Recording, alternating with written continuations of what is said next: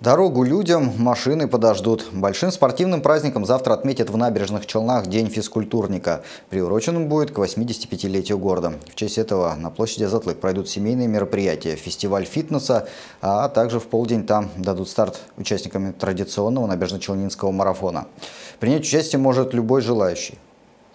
Для э, деток у нас организованы забеги на один километр – также рассматривается для массового а, круга наших жителей, гостей города. Это 4 километра, большие дистанции. Ну и, конечно, традиционный – это большой марафон.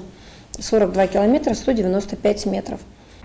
Итак, принять участие может каждый желающий. Кроме того, известно, что на старт выйдут также предприниматели, чиновники и депутаты Горсовета. Трассу проложат по проспекту Хасана Туфана, поэтому движение для автомобилистов завтра здесь перекроют. На отрезке от улицы 40 лет Победы до Сюембике.